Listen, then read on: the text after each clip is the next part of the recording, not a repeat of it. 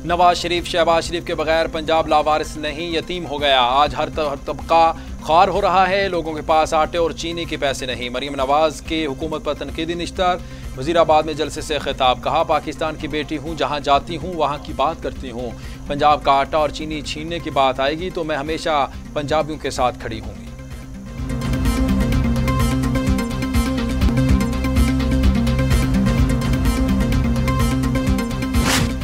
किसी पैराशूटर को सेनेटर नहीं बनाएँगे। वज़ीर अजम इमरान खान ने सैनेट के लिए टिकटों में तब्दीली का इंदिया दे दिया। कहते हैं, पार्टी टिकट मेरिट पर देंगे। पार्टी कारकुनों की ख्वाहिशात का एहतराम करते हैं। पीटीआई पार्लिमानी बोर्ड के इजलास में फैसल वाडा को टिकट दिए जाने पर तहफात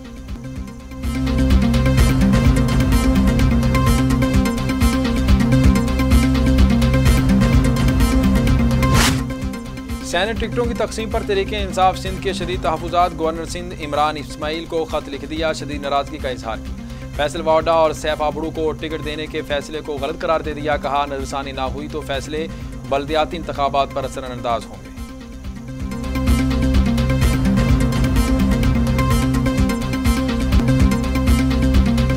सैनिट इलेक्शन पहला मरहला, मुकम्मल उम्मीदवारों की जाँच पड़ताल, पीटीआई के नौ उम्मीदवारों ने आखिरी रोज कागजात जमा कराए। जीडीए के पीर सदरुद्दीन रास्ती ने जनरल नशिस्त जबकि हसन बख्शी ने टेक्नोक्रेट नशीत के लिए कागजात जमा कराए।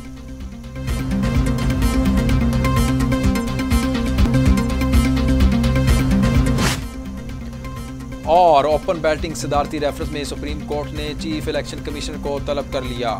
सैनट इंतबात की स्कीम भी मांग ली। अटॉर्नी जनरल ने कहा, तशवीशनाक बात है कि सियासी जमातें और बार काउंसल्स ओपन बैलेट की मुखालफत कर रही हैं। चीफ जस्टिस गुलजार अहमद ने रिमार्क्स दिए, बार काउंसल्स का मौकफ आज़ादाना होना चाहिए, ना कि सियासी जमातों वाला